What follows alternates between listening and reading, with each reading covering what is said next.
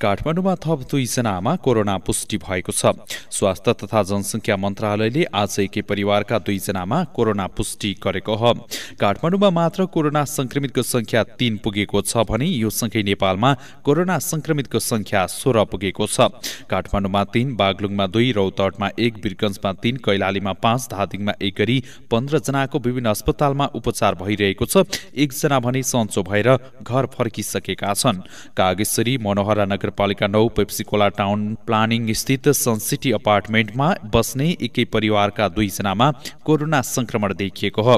RDT परीक्षणबाट एकै परिवारका तीनजनामा कोरोना संक्रमण देखिएपछि पुनः परीक्षण गर्दा दुईजनामा पोजिटिभ देखिएको मन्त्रालयले पुष्टि गरेको छ। एकजनाको भने कोरोना नदेखिएको मन्त्रालयले जनाएको छ। संक्रमित हुनेमा अन्ठाउन्न वर्षीय पुरुष र एकासी वर्षीय महिला रहेको स्वास्थ्य मन्त्रालयले जनाएको छ। अपार्टमेन्टमा बस्ने सबैजनाको कोरोना परीक्षण गरिने स्वास्थ्य तथा जनसङ्ख्या मन्त्रालयले जनाएको छ। त्यस्तै संक्रमित व्यक्तिको सम्पर्कमा आएकाहरूको ट्रेसिङ पनि सुरु गरिएको मन्त्रालयले जानकारी दिएको छ।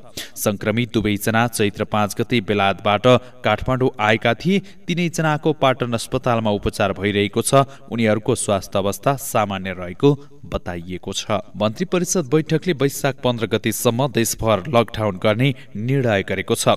आज दिउँसो प्रधानमन्त्री निवास भालुवाटारमा बसेको मन्त्री परिषद बैठकले लकडाउन बाह्र दिन थप्ने निर्णय गरेको हो। यसअघि सरकारले चैत्र एघार गति एक हप्ताका लागि भनेर लकडाउन गरेको थियो। पछि उक्त अवधि बढाएर चैत्र पच्चिस हुँदै वैशाख तीन गतेसम्म पुर्याएको थियो। लकडाउन हुनुभन्दा अघि नेपालमा कोरोना संक्रमितको संख्या जम्मा दुईजना थियो तीमध्ये पनि एकजना उपचार भएर घर फर्किसकेका थिए। अहिले कोरोना संक्रमितको संख्या सोह्र पुगेको छ। यता काठमाडौँ उपत्यकामा पनि कोरोना संक्रमित देखिएपछि प्रहरीले लकडाउनमा थप कडाई गरेको छ। पेप्सिकोला स्थित सिटी अपार्टमेन्टका दुईजनामा कोरोना पुष्टि भएसँगै प्रहरीले थप कडाई गरेको हो। लकडाउन उल्लङ्घन गर्नेलाई प्रहरीले अब बल्ब समेत प्रयोग गर्न सक्ने बताइएको छ। इलाम अस्पतालमा बिरामीको औषधिको अभाव हुन थालेको छ। सरकारको महत्वाकांक्षी योजनाको रूपमा हेरिएको स्वास्थ्य बिमा कार्यक्रम इलाममा सुरुवाती चरणमा निकै प्रभावकारी बन्दै समेत गएको थियो। तर पछिल्लो समयमा बिमाको औषधिको अभाव हुँदै गएपछि यसको प्रभावकारिता घटेको छ भने बिमा गरेर नियमित औषधि सेवन गर्ने बिरामीहरू धेरै मार्खामा पर्न थालेका छन्। विश्वमा फैलिरहेको महामारी कोरोना भाइरसको कारण सरकारले देशमा अहिले लक लकडाउन गरिरहेको छ जसले गर्दा पनि अहिले सहज रूपमा औषधि नआउँदा अभाव हुनुको पहिलो कारण बनेको इलाम अस्पतालका मेडिकल सुपरिन्टेन्डेन्ट डाक्टर प्रभु शाहले बताउनु भयो उहाँले स्वास्थ्य बिमा बोर्डले समेत अस्पताललाई दिनुपर्ने नब्बे लाख रुपियाँ भुक्तानी नगर्दा पनि औषधि अभाव हुन गएको उहाँको भनाइ छ। बिमा बोर्डबाट अस्पतालको नाममा बयालिस लाखको चेक काटिसकिएको जानकारी भए पनि हालसम्म चेक प्राप्त नभएको उहाँले बताउनु भयो स्वास्थ्य बिमा अनुसारका एक हजार एक सय अठार प्रकारका औषधि बिरामीलाई उपलब्ध गराउनुपर्छ। तर अहिले इलाम अस्पतालमा एक डेढ सय आइटमको औषधि रहेको छ। त्यो पनि पर्याप्त छैन। जसमा सबैभन्दा बढी प्रयोग हुने प्रेसर मोटर र सुगरको औषधि कम रहेको छ। डाक्टर शाहका अनुसार प्रेसर मोटर र सुगरका रोगी इलाममा धेरै छन्। यी रोगीका बिरामीले यसको औषधि नियमित सेवन गर्नुपर्छ। तर अहिले यस औषधिको स्टक अत्यन्त कम कम रहेकोले धान्न निकै समस्या रहेको उहाँको भनाइ छ। बिमाको औषधि तेह्रवटा सप्लायर्सबाट आउने गरे पनि अहिले तिन चारवटा सप्लायर्सबाट औषधि नआएको कारण पनि बिमाको औषधिको अभाव हुन थालेको अस्पतालका फार्मेसी इन्चार्ज पशुपति चौधरीले बताउनु भयो औषधि सप्लायर्स गर्नेले नै औषधि नभएको जनाउने गरेको उहाँले जानकारी दिनुभयो। यता स्वास्थ्य बिमा बोर्ड जिल्ला कार्यालय इलाम कार्यालयका प्रमुख खेमराज अधिकारीले अस्पताल अस्पताललाई औषधिको रकम भुक्तानी गर्दै आएको बताउनु भयो बिमा बोर्डबाट अस्पताललाई बयालिस लाखको चेक काटिसकेको भए पनि लकडाउनका कारण तत्कालको अवस्थामा चेक उपलब्ध गराउन नसकेको तर अब चाँडै उपलब्ध गराउने बताउनु भयो बिमा अन्तर्गतको औषधिहरू अस्पतालले माग गरेको खण्डमा उपलब्ध गराउन सकिने पनि जनाइएको छ। अस्पतालमा विशेषज्ञको आधारमा बिमाको औषधिहरू माग हुने गरेको छ। इलाम जिल्लामा त्रियासी हजार जनाले स्वास्थ्य बिमा गरेका छन्। स्वास्थ्य बिमा गरेपछि नागरिकले राहत महसुस पनि गरेका छन्। तर बिमा बापतको सबै किसिमको औषधि नहुँदा बिरामीहरू समस्यामा पर्ने गरेका छन्। नेपाल राष्ट्रिय शिक्षक संगठन माइनगर कमिटिले कोरोनाबाट खाद्यान्न अभावमा भएका विपन्न तथा मजदुरहरूको लागि अठाइस हजार मूल्य बराबरको खाद्यान्न सहयोग गरेको छ। संगठनले माई नगरपालिकाका योजना अधिकृत लक्ष्मण भोर्तेल र स्वास्थ्य संयोजक पुष्कर कट्टेललाई खाद्यान्न हस्तान्तरण गरेको छ। सरकारले सहयोग प्रदानको लागि एकद्वार नीति अपनाएपछि स्थानीय सरकार मातहतमा रात वितरण गरिँदै आएको छ। संगठनको कोषबाट हजार तथा चौतिसजना शिक्षकहरूबाट संकलन गरिएको रकमबाट खाद्यान्न खरिद गरिएको अध्यक्ष ख्याम लिम्बुले जानकारी दिनुभयो। माई नगरपालिकामा विपद व्यवस्थापन कोषमा आर्थिक सहयोग र खाद्यान्न सहयोग जुट्ने क्रम जारी छ। केही दिन अघि साना किसान महिला कृषि सहकारीले पनि नगरलाई खाद्यान्न प्रदान गरेको थियो। दक्षिण इलामको माई नगरपालिकामा क्वारेन्टाइनमा बसेका आठजनाको ऱ्यापिड डायग्नोस्टिक टेस्ट नेगेटिभ देखिएको छ। संस्थागत क्वारेन्टाइनमा राखिएका छजना र होम क्वारेन्टाइनमा राखिएका दुईजनाको हिजो र आज परीक्षण गरिएको हो। आरडिटी रिपोर्ट नेगेटिभ देखिएको नगरपालिकाका शाखा अधिकृत नवीन पौडेलले जानकारी दिनुभयो।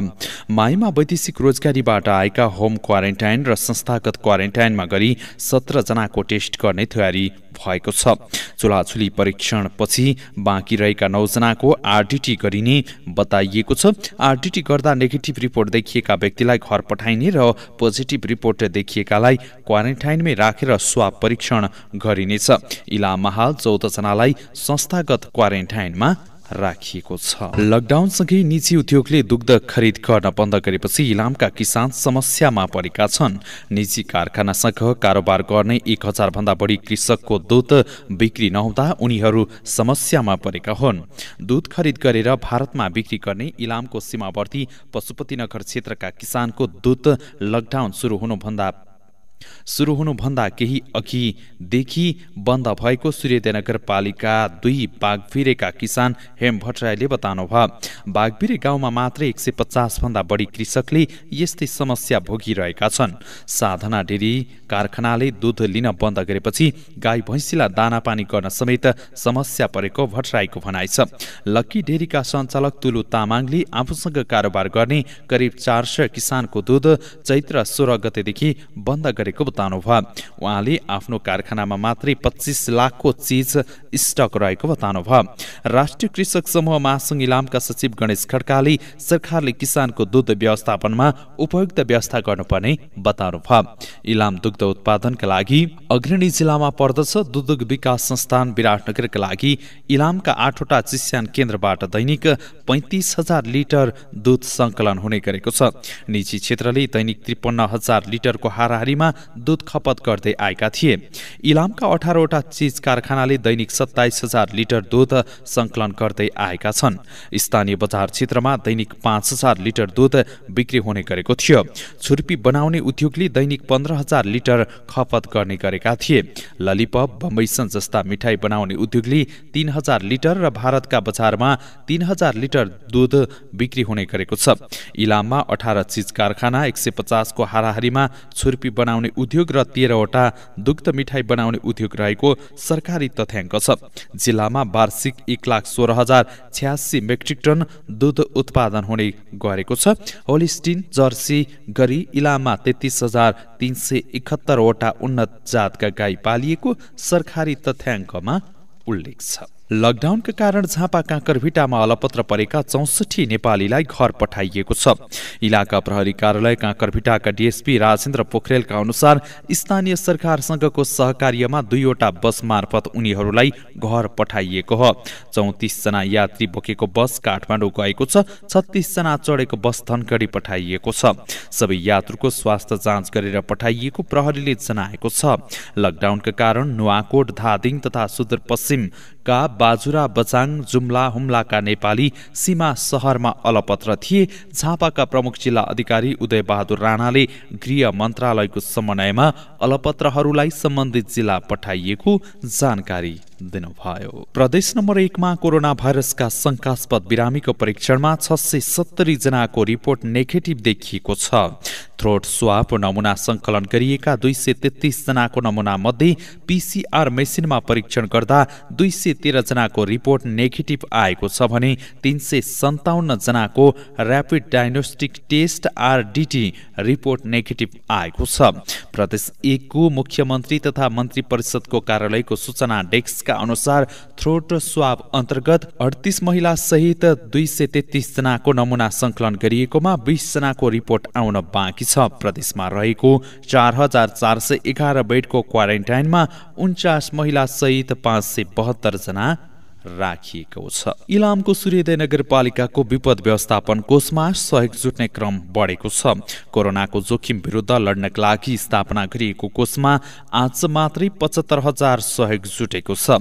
सूर्योदय नगरपालिका एघार माघे निवासी युवा व्यवसायी अजित राईले पच्चिस हजार र सहारा नेपाल बहुद्देश्य सहकारी फिक्कल शाखाले पचास हजार रुपियाँ सहयोग गरेको ह।